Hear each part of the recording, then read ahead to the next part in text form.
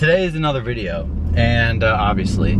So, so a video I did a little while back was in regards to what would be a good Jeep replacement. So I talked about the first gen Ford Raptor, and I also talked about um, like an SRT8 WK as well as like um, just another sort of Hemi WK. I have the 4.7 right now.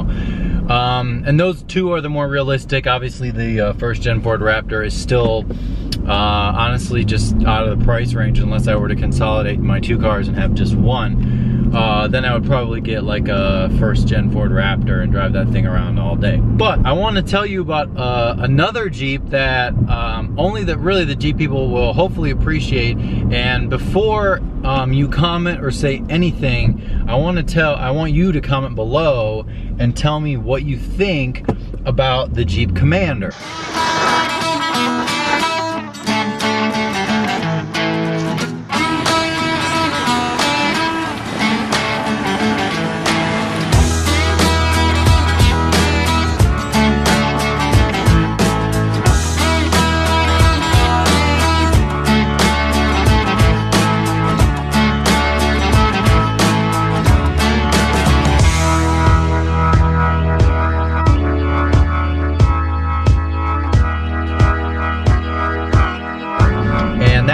That we're gonna be talking about today. We're gonna have some serious Jeep talk, but I want to get your thoughts, your uh, opinion before you hear anything about what I have to say.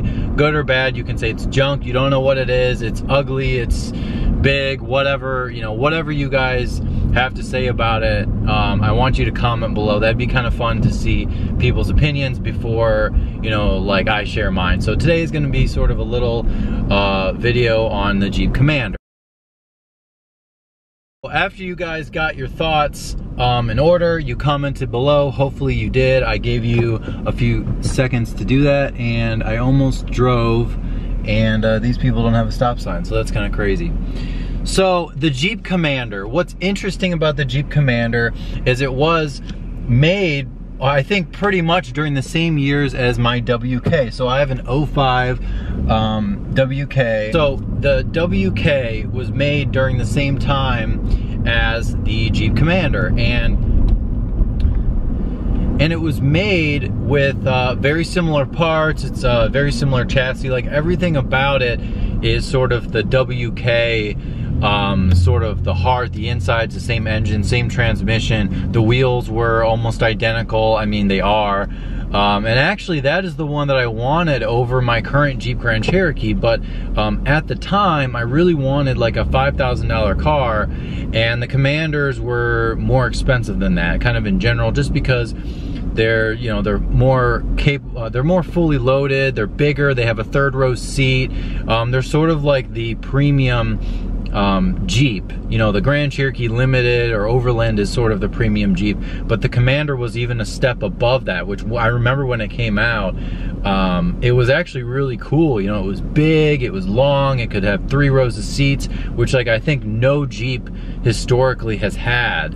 Um, and that's kind of when the three row SUVs like 2005 through like 2010 or whatever, that's when sort of the era of uh, the three row big SUVs were a big thing. Now it's like crossovers and trucks. You either have a crossover, a truck, or a car.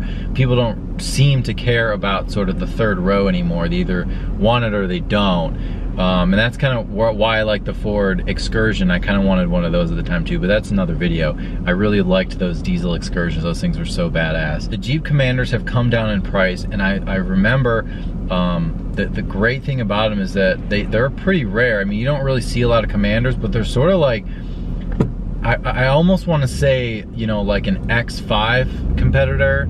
Um, you know, they're premium. I know it's Chrysler, I know it's so much cheaper than an X5, like on any day, no matter what, you know, ever. Um, but yet I still think it's sort of in the same realm. You know, if you have a budget, you want, you know, four-wheel drive, Quadra Drive 2, which this thing has, and a lot of the newer ones still have. And of course I'm going over freaking speed bumps. I'm trying to film a video and I choose to drive over speed bumps. That's really smart, Brandon, thanks. Um, I've never even been down here. I was trying to look for a, a way to go that wasn't crazy uh, traffic and distractions like it was earlier, but um, looks like I kind of failed at that. The only thing about it is uh, you sort of, it's, it's kind of ugly from the back. So if you look at a picture of the back of it, it's sort of like they made it kind of cool looking, um, but they also sort of, I don't know how to describe it. It's just very square and it's sort of, it's way too plain. So that's kind of why the Commander sort of did not age well where the Grand Cherokee did. Um, in my opinion, I think that this Grand Cherokee aged extremely well. Um, and uh, that's part of the reason you know why I like it so much. The, the Jeep Commander, it's um, I think it's badass. Like honestly, if I if I if I was in a bind and I really like this car got totaled or whatever, or the Jeep got totaled, I mean as much as I would want a Ford Raptor or a pickup truck in general, I think that like a Jeep Commander would be pretty badass. Like I would definitely do like a four to six inch lift on it. I would do like a light bar and I'd do some nice wheels. I mean that's really all those things need to look extremely badass. I mean doing other stuff um, like skid plates and bumpers and a winch and all that, like all those expensive things are really sweet. Um, I do want to do like a light bar kind of under the bumper on my Jeep. Um, I don't think they're that expensive and I have a little area that I can put a switch um, and that would be really sweet, you know, if instead of the brights, which the brights are fine, but um, it'd be sweet, you know, the look just to have it sort of the subtle modifications that this Jeep has uh, that I really like. It's so funny, I can't believe I like forgot about, you know, the Jeep Commander. Because, um, and, and what's cool about it is those guys that are here for the Jeep, especially my, my current Jeep, um, which at any moment could be a different vehicle, I suppose. I can, you know, if I make a decision and I want to change it up or whatever, I want something different, I can do that. But um, going from this to a Commander, I feel like a lot of people would relate because it's a lot of the same parts, the interior is similar. It just, it's a similar vehicle, obviously, as I've already mentioned. Um, and what's also great is it's great for wintertime. It's capable, it has a V8, um, I believe, I can only assume that they come in a Hemi as well, but I'm not really sure. Um, I know that the Jeep Grand Cherokee, or it had the six cylinder, it had the 4.7, and then it had the five liter. Uh, so I think 5.2, and then there's the SRT8 version, which is obviously a whole nother animal. But um, yeah, I thought that that was kind of crazy that I forgot to talk about the Commander, which I think everyone, I think a lot of the guys that like this car like the Commander as well. So um, that's something I was sort of thinking about on this really bright, sunny day here in Columbus. Um, I'm so, like, this is the point in the wintertime when, so it was 50 degrees like one or two days randomly. And then now it's back down to 30, 15 to 30. Today's 32, thank God. Um, but like, oh my God, it's like I can't drive the M3 because it's gonna snow and then there's salt everywhere and there's shit everywhere and it's just like, it's it's just, it's awful. Like it's just, it starts to get to a point where like it, it's just, it's torturous um, to, you know, just let, let that car sit for so long.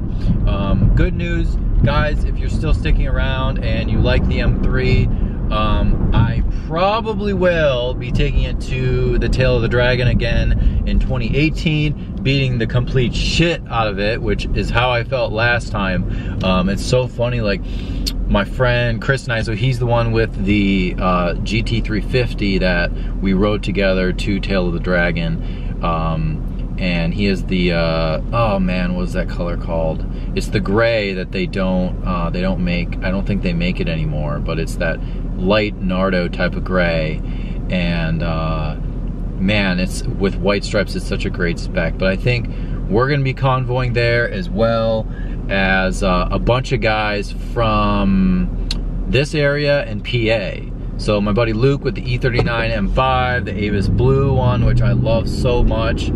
Uh, he's gonna be going, there's gonna be at least one Porsche. I'm sure total there's gonna be more than one, uh, but there's one that's gonna be convoying with us. So it's gonna be, I'm actually like a little concerned because it's gonna be like logistics of getting the guys up and out and groups of people and we're gonna have to split up and it's gonna be a lot. It's gonna be, I anticipate probably that Smokies trip that I went on last year, if, if any of you guys remember, I'm sure a lot of you weren't around on the channel, maybe I'll try to insert a few clips.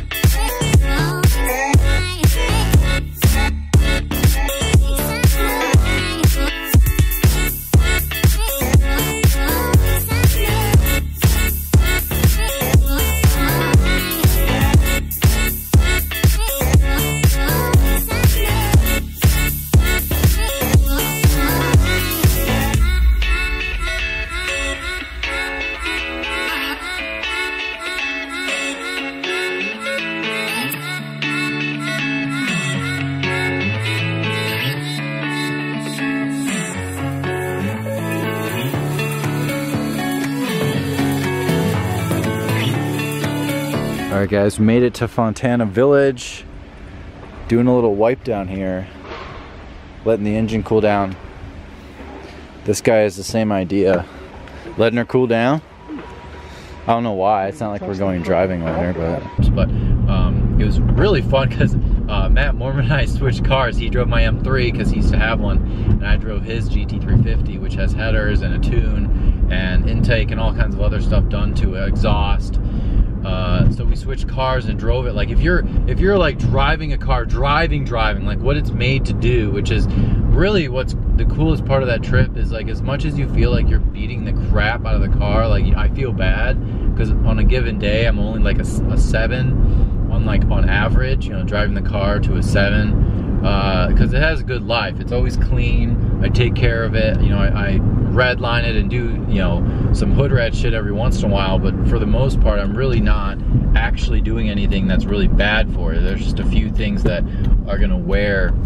Oh, there's a Jeep Commander right there. And see, the thing is like those stock look shittier than the Grand Cherokee stock, I think.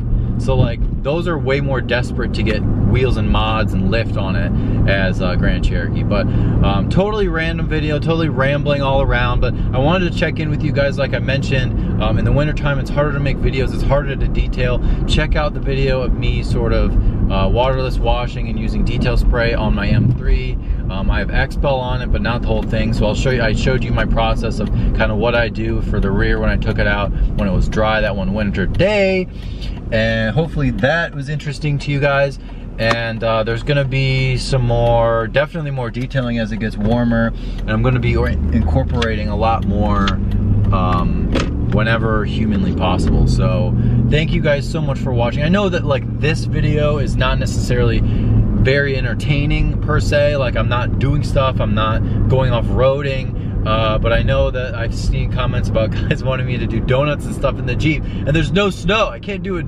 I can't do anything.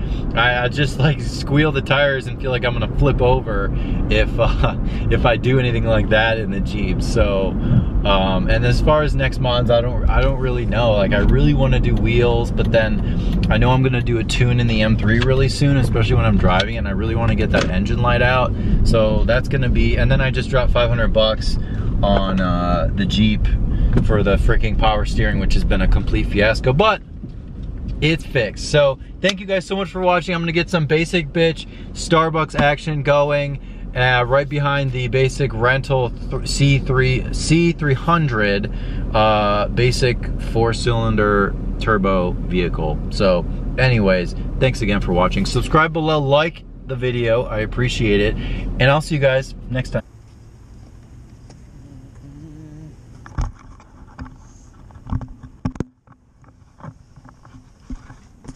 By the way, do you guys like putting in like the GoPro sort of road action when I do vlogs like this? Because I feel like it gives you something to look at, something extra going on. So let me know about that. It is extra work, it's extra editing and cutting the clips to make them sort of match is a huge pain in the ass, I will be honest with you.